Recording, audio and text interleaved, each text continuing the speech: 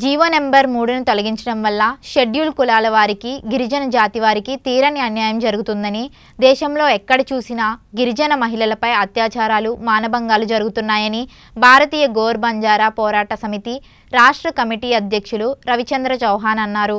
భద్రాద్రి కొత్తగూడెం జిల్లా జూలూరుపూడి మండలంలో AVR function హాల్లో భారతీ గోర్ బంజారా పోరాట సమితి ఆధ్వర్యంలో కమిటీ ఏర్పాటు చేశారు.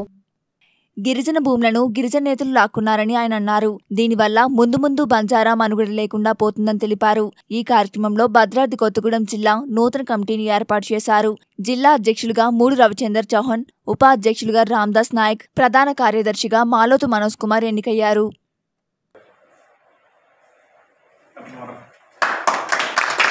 అదేవిధంగా గోర్ బంజారా జాతీయ ఉపాధ్యక్షులు మాలోత్ రామ్దాస్ నాయక్ గారిని మనం ఎంపీపీ బాబు నాయక్ గారు తలపాగా కట్టవలసిందిగా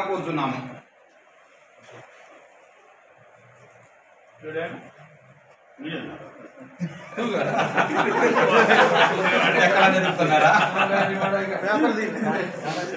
సైడ్ ఉండండి. సార్ సార్ పక్క కాకపాటి కొనాలి కానీ పెట్టాను రా చదువు ఏం బాబాయ్? ఇద్దరు తల్లులు పక్కన ఉన్నారు నాకు ఇక్కడ ఇప్పుడు సేవాలాల్ గారు ఒక ఫోటో పెట్టారు అంబేద్కర్ గారు ఫోటో. వారి ఆశయం ఏంటి? దళితులను ఎప్పుడు కూడా ఒక మంచి మార్గంలో నడిపించాలనే ఆశయం. అటువంటి ఆశయం సాధన కోసం మనం పనిచేయాల్సిన అవసరం.